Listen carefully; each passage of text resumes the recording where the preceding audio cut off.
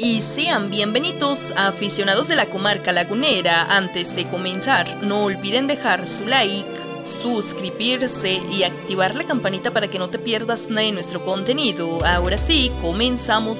Eduardo Fentanés ya vive horas extras en Santos Laguna. El estratega Eduardo Fentanés ya vive horas extras en Santos Laguna, quien se encuentra en un interinato para este torneo clausura 2022 de la Liga MX. Todavía nos tiene la certidumbre al respecto si podrá quedarse al mando del equipo o la directiva decidirá por un cambio en el timón. Luego de lo que significó el revuelo por la destitución del portugués Pedro Caincinia, el equipo guerrero siguen tomando las cosas con bastante calma. Mientras tanto, Fentanés se hace cargo del equipo en este torneo, donde los de Torreón están batallando por un puesto al menos entre los primeros 12 lugares de la tabla general. De momento, por parte de Santos no se han manifestado al respecto, mientras que tampoco hay opciones en el radar para tomar la dirección técnica. Probablemente la carta más fuerte era la de Robert Dante Cipoldi quien se ha marchado para dirigir en el fútbol de Arabia Saudita. En el plano original, su trabajo llegaba hasta el duelo de la jornada 9 del torneo Clausura 2 2022 con la visita a las Chivas de Guadalajara. Sin embargo, ahora el mismo estratega desconoce si se va a quedar más tiempo al mando o de forma permanente. Me visualicé en el estadio de Guadalajara dirigiendo, ahí ya llegué y eso es lo hablado con la directiva, indicó recientemente para TUDN. si me gustaría quedarme, me he capacitado para ejercer en este puesto y si me gustaría, agregó. De momento no ha existido claridad al respecto de si dejarán a Fentanés lo que resta del torneo y dependiendo de los resultados otorgarle el cargo a la largo plazo